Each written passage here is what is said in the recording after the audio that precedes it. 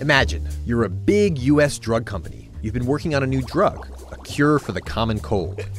it's going to be big business, and of course, you want to avoid big American taxes. Fortunately, you have a very large staff of very helpful accountants. Your accounting team has identified four strategies to reduce your taxes.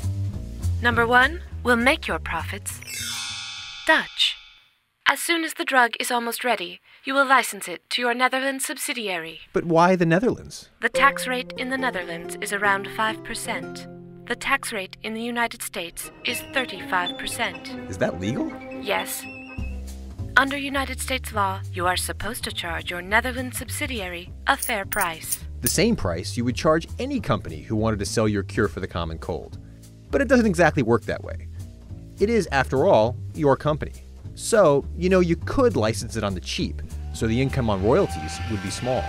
And so would your U.S. taxes. But remind me again, how is that legal? Welcome to strategy number two long distance research and development. Most of your research was conducted in the United States.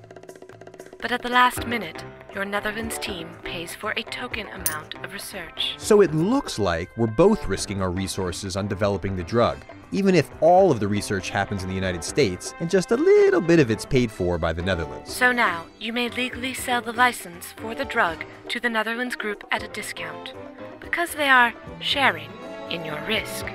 So, in the end, almost all the costs of creating the cure for the common cold are assigned to your US company, which deducts those costs from its US taxes, further reducing its tax bill.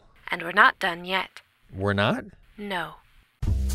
Strategy 3 Move the manufacturing. The Netherlands was good for research and development, but not for manufacturing. Taxes on making things there are high. The Netherlands subsidiary will need another subsidiary. Singapore, perhaps.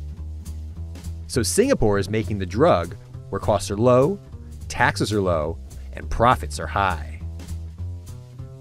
And they will sell the drug back to your parent company in the United States, who will sell it around the world. But because the license for the drug was held in the Netherlands, the profit stream remains there, taxed at just 5%. So, even if half of your sales occur in the United States, how much of your profits will be on the books in the US to be taxed? Only about 10%. But we're not quite finished. Finally, you may deduct 35% of the costs of all of this business the Netherlands operation, the Singapore operation, and your accounting team as a cost of doing business. How much? 35%. So, when you add that up with all the other strategies we've used so far, your taxes for the new drug will be cut by two thirds, as long as you leave the money outside the United States. And you might even say that the United States tax code encourages every one of these strategies. Even though the American corporate tax rate is 35%, nobody pays that.